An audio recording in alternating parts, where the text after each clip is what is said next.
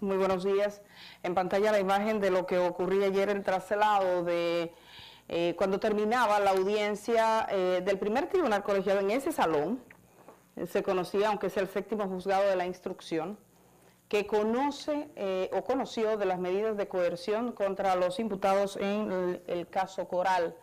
Encabezado por esa persona que ustedes ven al fondo, un mayor general de la Armada Dominicana. Inusual que un oficial con ese, con ese cargo y ese rango eh, sea objeto de ninguna investigación en República Dominicana. He dicho que quien se sienta en el banquillo de los acusados no es el mayor general Cáceres eh, Silvestre, sino una práctica eh, que durante mucho tiempo tuvo poco escrutinio.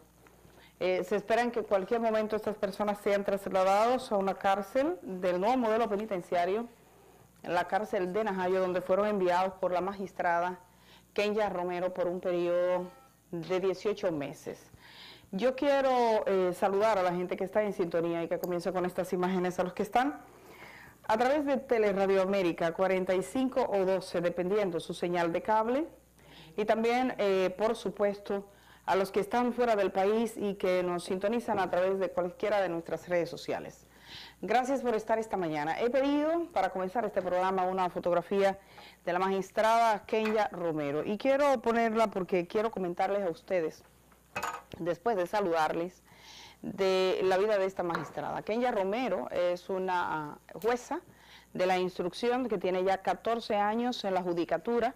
Inició eh, aproximadamente el año 2006 en eh, el ámbito de menores, era parte del Tribunal de Menores. Posteriormente, quien ya hizo su doctorado en el País Vasco, tiene especialización en varias maestrías, eh, Derecho Penal. Lavado de activos es un tema que maneja bastante porque fue designada por el Poder Judicial como representante de ese órgano en una comisión especializada y digamos que tiene un perfil bajo durante estos 14 años porque los jueces generalmente suena un poco más cuando tienen casos eh, o procesos a los que la prensa le está dando seguimiento. El, eh, uno de los que tuvo que la prensa le dio seguimiento es el conocimiento de las medidas de coerción contra Argenis Contreras, involucrado en el asesinato del abogado Junior Ramírez. Así que ustedes tienen a esta jueza que ayer tomaba una decisión eh, que podría parecer difícil en un país que no está habituado a que los altos mandos militares y policiales eh, estén en procesos judiciales. Pero ese expediente que presentó el Ministerio Público, acompañado del testimonio del mayor Girón Jiménez, eh, parece ser ineludible. Evidentemente creo que aún los más defensores de esta causa miran con cautela, por no decir con cuidado, los términos de esta acusación. Y yo quiero decir que en, hace, hace aproximadamente, hace varios meses, yo, yo se lo comenté a ustedes aquí, le comenté una situación que, viví, y lo viví aquí en este canal, cuando llegó un oficial de la Armada, yo no lo conozco de manera eh, personal, pero conozco a alguien que está vinculado a él y por eso, pues, eh, accedí rápidamente a recibirle porque venía acompañado de una persona que yo sí conocía y me dijo que quería hablar conmigo para decirme que el eslogan de este gobierno es la palabra cambio y que él entendía que en las Fuerzas Armadas, en todos los ministerios armados del país, no habría cambio hasta que no se revisara la nómina. Me dijo, el truco está en la nómina. Yo no lo entendí entonces. Me dijo, sobre todo en los órganos especializados. Si nosotros miramos, STUR es un órgano especializado. Me mencionó varios órganos especializados de la Armada Dominicana que no eran CESTUR. Y básicamente me decía que en la Armada hay una costumbre como tradicional, que todo el que ha sido jefe de la DNCD, jefe de la policía, jefe del ejército, jefe de la marina, jefe de la Fuerza Aérea, tiene a todos sus parientes en la nómina. Entonces entran a sus parientes, entran a los amigos, a las amigas, a lo que quieran como jefes, y eso se mantiene porque es como una tradición. O sea, es como como eh, una, una, nómina con, muchas, mucha gente que no tiene propósito, que no está sirviendo, que no rinde un fruto, que no tiene un servicio. En ese momento yo lo entendí únicamente con el tema de lo que significa que tú busques y te agencies que personas estén en la nómina de una institución para que vivan de eso, ¿no? las tradicionales botellas. Pero no podía imaginar un suceso como el que ha acontecido ahora en Cestur, por ejemplo, cuando el Ministerio Público, eh, en el cuerpo de ayudantes militares, en el Cestur, habla de unas 300 personas que cobraban un dinero y tenían que devolver. Una práctica que a raíz de estas denuncias que están saliendo públicamente, hay gente que nos escriben, que se comunican, sí, yo cobraba y yo devolvía. Entonces no parece ser una práctica de ahora. El, tema militar en países como el nuestro, donde vivió una dictadura, donde eh, con la participación de militares se dio incluso un golpe de Estado en el 1965, tradicionalmente por esa especie como de, de miedo y temor, es un tema que no se mueve, que se deja ahí. Bien lo decía el doctor Leonel Fernández en, unos, en una conversación con la Embajada de Estados Unidos que reveló uno de los cables Wikileaks. Decía que aquel presidente o mandatario que tratara de cambiar la forma de operar en términos económicos de los cuerpos armados del país ponía en riesgo su propia estabilidad. Eso salió publicado, ustedes lo pueden buscar en un cable de Wikileaks, atribuyéndoselo al expresidente Leonel Fernández, que por supuesto nunca reconoció que lo hubiese dicho, pero que se asumió que aquellos cables, no solo en República Dominicana, sino en gran parte del mundo, eran ciertos. Ahora, lo que ha cambiado aquí no es el Ministerio Público, ni ha cambiado una jueza. Lo que ha cambiado aquí ni siquiera son los medios de comunicación. Lo que ha cambiado aquí es el pueblo dominicano, es la gente y sobre todo la gente más joven que se aglomeró en la Plaza de la Bandera o la gente que caminó diciendo nosotros queremos que termine la corrupción en este país. Eh, República Dominicana estuvo habituada desde hace muchísimos años, por décadas, a un estado de corrupción. Un estado de corrupción que va desde lo más alto hasta lo más sencillo, que usted se para en una esquina, usted compra seis tomates para ayudar al vendedor, tiene cuatro tomates preciosos arriba y dos abajo, y cuando usted llega a su casa, usted encuentra que los dos de abajo están dañados. ¿Lo engañó? O usted se va a un supermercado y usted se compra una libra de bacalao, y arriba es un bacalao precioso y debajo es cola. Compran dos cajas de bacalao y tres de cola, porque hay más cola siempre que bacalao. Entonces es como un sistema que es de engaño en las cosas más simples de la vida. Desde comprar un pedazo de bacalao hasta comprar unos tomates, hasta la gestión pública en los más altos cargos. Uno espera que situaciones como la que hemos vivido ahora contribuyan a que aquí se dilucide todo. Yo para mí el ejemplo de dilucidar lo que pasa en sus órganos de seguridad y en los órganos eh, armados en América Latina lo tiene Colombia. Colombia que, digamos, tiene una situación distinta porque es un país que ha tenido guerras, una guerra interna de muchos años.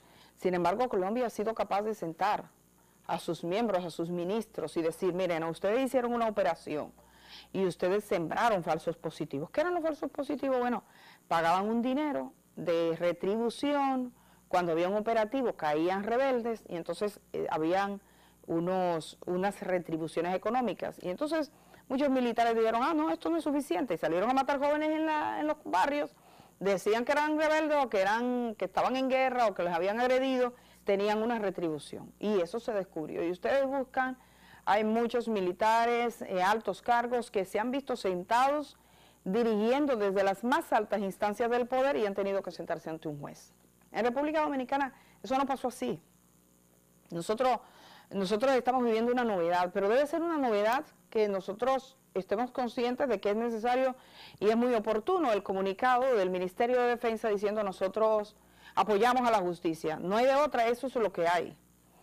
Y entonces aquellos militares jóvenes, aquellos que están comenzando, la gente que aspire, que tenga un sueño de servir a su país desde el uniforme, desde las instancias militares, tienen que saber que es posible hacerlo y cargado de honor y sin necesidad de que alguien corrupto te dé una orden. El mismo eh, Cáceres Silvestre dijo una frase en la cual él tiene razón, pero que hay que ver las circunstancias de esa frase. Él decía, ningún militar está obligado a obedecer una orden que contravenga las eh, determinaciones de la ley. Él lo dijo en respuesta a lo que había dicho Girón Jiménez, que dijo que en las Fuerzas Armadas Dominicanas, en la Armada Dominicana, cuando un jefe te dice, respira, respiramos, para de respirar, paramos, brinca, brincamos, mata, matamos, roben, robemos. Y digo robemos, lo digo en ese tono. Esa frase a mí se me quedó porque era como, como que son de ponerlas, ¿no? Y él dijo, ¿qué es eso? Y evidentemente uno se pregunta, ¿qué es eso? Un militar joven, un, un oficial, una gente que está en un servicio militar debe servir solo a la Constitución y a las leyes. Sabemos que las entidades donde entra la corrupción, donde se anida, y sobre todo donde se anida en las estructuras de más, poder, eso es una verdadera tragedia que viven los países, en los órganos armados, en las organizaciones civiles, en las entidades de Estado, porque lo peor que puede pasarle a una sociedad es que desde arriba se dirija esa especie de carcoma, ustedes conocen la carcoma, cuando le cae a un árbol la carcoma, si ese árbol está medianamente seco, comienza a trabajar en la madera, comienza a trabajar y usted no se da cuenta que esa carcoma le está comiendo su mesa y un buen día la mesa se cae. Eso sí es lo que hace que cualquier cosa se quiebre. Se quiebra el orden legítimo, se quiebra las garantías, se quiebra la posibilidad de soñar con un país distinto. Así que nosotros no debemos tener ni aguardar ningún tipo de, de sorpresa o de sentir que está pasando una cosa extraordinaria. En muchos países, incluso países de unos niveles de institucionalidad más escasos que el de República Dominicana, han sido capaces de sentar y decir, venga acá, responda ante un juez. Con todas las garantías, con las garantías que da la ley, con las garantías que da la Constitución, con el respeto a las personas, respeto que no le han tenido al ladrón famélico, porque esa es otra. O sea, nosotros vivimos en una sociedad que se dice de mano dura a los que están, a los más sencillitos, a los a los que están, eh, que, es un robo directo, que sí, que es violento, que sí, que daña, pero estructuralmente el otro te afecta más, porque es la estructura completa, pero luego tú le dices, señor. Entonces, aquí en este país, a un joven se le, cansa, se le canta 30 años de prisión en una mañana. Yo lo vi muchas veces en el Palacio de Justicia de Ciudad Nueva. Llegaban esposados, uno de otro, amarrados.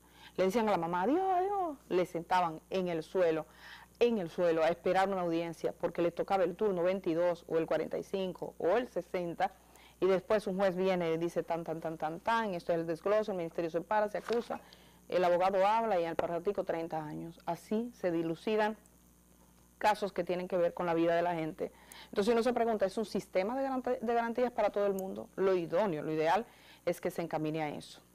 Y yo decía que ahí no está sentado solo este general y un grupo de oficiales. Ahí está sentado un sistema, una manera de hacer las cosas y yo creo que es bueno y que es tiempo, que así como dice el Ministerio de Defensa en su comunicado, que no va a proteger ninguna actuación contraria a la ley, esa es probablemente la mayor garantía que tenemos que tener. Y eso implica que se hagan las reformas necesarias para que se procese digitalmente, por ejemplo, los procesos internos de compra, ¿Cómo puede ser que dinero que estaba destinado a inteligencia en el ámbito turístico terminaran en cuentas de particulares? ¿Cómo puede ser que dinero que estaba destinado a, comprar bienes y servicios terminaran en cuentas de particulares? Nosotros vamos a tener un juicio que pone en evidencia una estructura que no puede ser. Y tenían unas alertas, quizás si se hubiese atendido antes, no llegamos a esto.